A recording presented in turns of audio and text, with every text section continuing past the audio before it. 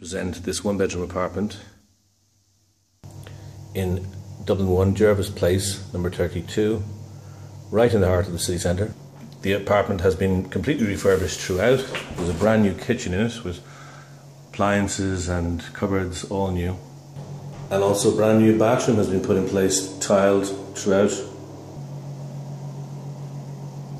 The bedroom's a very good size, looking over the gardens and also benefits from built in wardrobes. There's also a storage cupboard which is handy and it's fully alarmed. The living room is also a good size and benefits from having a view over the gardens.